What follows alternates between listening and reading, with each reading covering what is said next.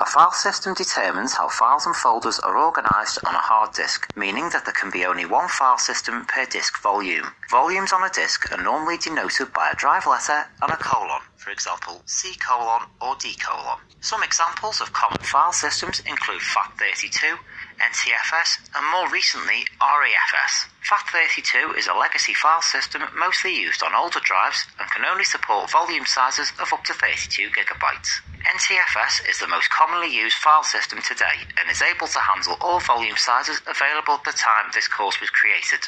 REFS is not used that often at the time of writing and is therefore beyond the scope of this course. As explained earlier, you can change directories within a command prompt window using the cd command. This can be used either with a relative path or an absolute path. A relative path is the location of a file or folder relative to the current working directory. The current working directory is always displayed in the command prompt window, as highlighted below. An absolute path is the full path to a file or folder. For example, C folder 1 file2.txt. Note that to access an absolute path, it must be enclosed within speech marks if it has any spaces. In the real world, it's normally good practice to include all absolute paths in speech marks anyway, as it won't do any harm and it will get you into the habit. To navigate to a relative path, type in the path relative to the current working directory. For example, if the working directory is C folder 1 and you wanted to go to C folder 1 folder 2, you would type cd folder 2.